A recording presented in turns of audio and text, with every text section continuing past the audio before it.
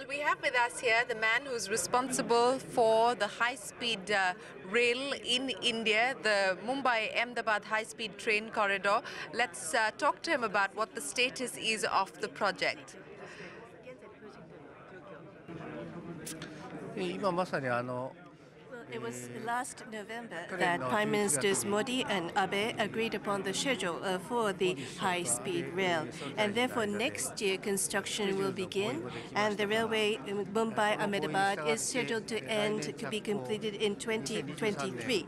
And I understand that things are progressing on 完成 schedule. するというプロジェスケジュールであの作業が順調に進んでいると理解しております。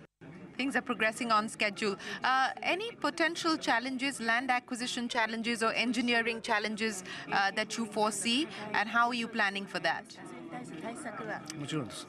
あの Well, as a matter of fact, uh, the fact that near fact that we're going to start construction next year and it is due to be completed in 2023. The fact that in just five years we have to complete this 500 kilometer high-speed rail in itself is uh, very challenging in itself. Now, in Japan, we only have the experience of the Tokaido Shinkansen 52 years ago, uh, which started construction in 1959 and was completed in 1964. And so this is the only experience that we have, but uh, we have to complete the detailed design. Also, we have to go ahead with the land acquisition, and for this, um, it is uh, essential that we get full support from our Indian counterparts. One of the other challenges will be how do you balance cost and tariff to make this project sustainable and viable? Uh, how do you see that balance working? And you know, what will the fair estimation be to make this project viable and sustainable? India, remember, is also a very value-conscious market. どうしてもインド人っていうのはお金に大変意識が高いと思いますので、その辺はどう考えていらっしゃいますかあの Well, um, the fare of the high-speed rail in itself, I think, is a challenge. Where to set the fare, and be it uh, Japan or India, I think uh, this is a very important factor of this project. Now, um, if we were to set the tariff too high, then the number of users in India would be limited because it is too costly. Um, but um, if we were uh, to have a very low tariff, then we might have a lot of passengers, but it would be very difficult to recover the cost that we have paid to, build the high-speed rail. So I think achieving this balance in itself is a very important task, and we have to give due consideration to the economic status of the country, as well as the users, passengers' affordability, and the quality of the high-speed rail. So I would, I would like to see that the Indian government make a very um, high-level decision, a careful decision about this. And if I may add, um, also we have to think about the fact that this high-speed rail is a major social infrastructure project, and to consider covering all the costs by sheer uh, merely setting the fare in itself is very unusual, even in the world. There are only a limited number of cases which try to cover all the costs through its fares.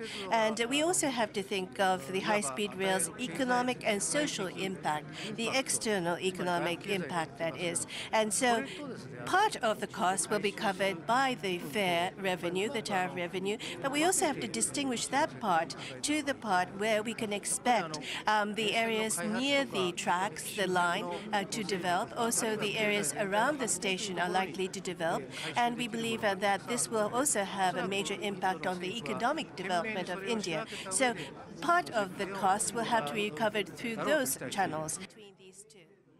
Uh, can you explain to us the Make in India component of this project? Uh, will Japan be setting up manufacturing facilities in India to cater to this project? In this Mumbai Ahmedabad uh, project, one of the three keywords that have been adopted is Make in India.